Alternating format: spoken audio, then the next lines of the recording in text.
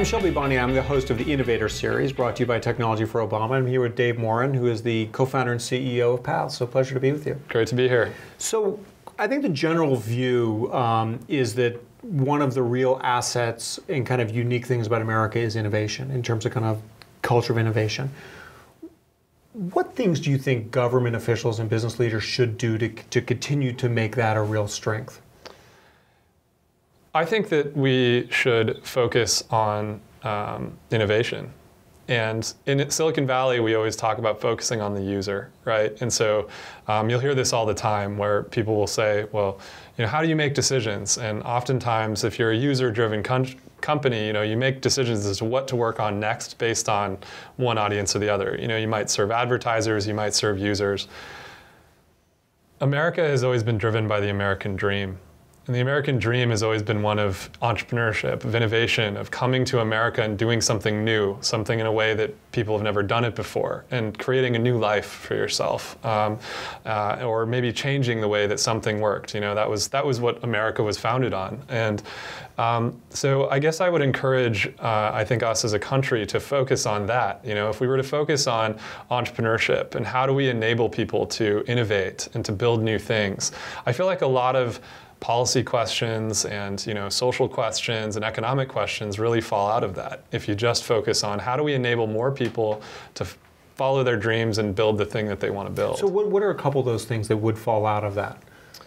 Um, you know, I think that uh, a focus on you know uh, enabling people to uh, come to the country. You know, for example, uh, there's a lot of uh, innovation in immigration policy that's being talked about right now. Whether it's uh, the Dream Act or innovation in H-1Bs, enabling more more really technically talented people to come to the country or to enable people that have lived in the country for a long time and contributed to the economy to stay here and to contribute.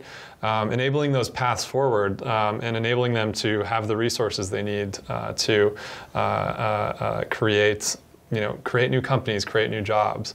Another example would be education, you know, um, enabling people to get the ed education they need, to get the tools that they need to um, build, you know, uh, build a job that ne maybe never existed before. Um, a lot of what's happening in America right now is we, we're changing, you know, we're changing as a country, we're changing uh, with what we export, you know, what we do as a country. We used to be a lot about manufacturing, now we're a lot about knowledge work and these types of things. So getting more education to people uh, to do different and new jobs is really, really important.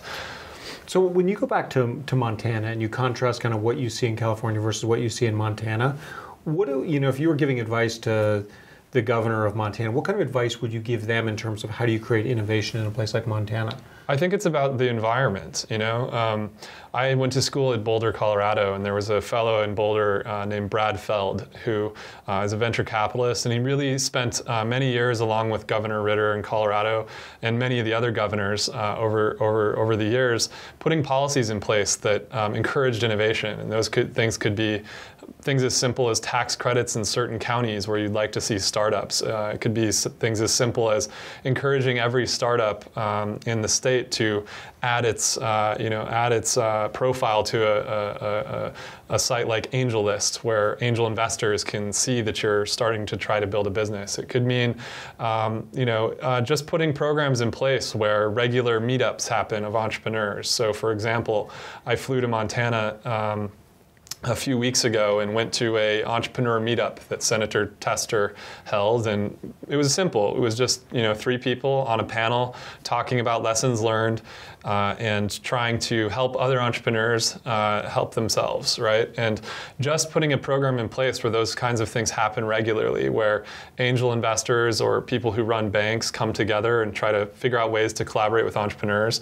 Just cultivating that, cultivating community uh, and programs which encourage that, I think can have a huge impact. Uh, and they're very simple things. And it, do. sounds like in, in each of those cases, it was there was a role that government leaders played in terms of facilitating that? Absolutely. Government leaders have a voice. You have a, a, the ability to communicate with the entire state or the entire country and to make a call for community, make a call for entrepreneurs to come together and help each other, make a call for people with capital to grow businesses to come and meet with entrepreneurs and to collaborate in the same space, you know, come together in a coffee shop, come together at a university, come together uh, in an entire city, you know.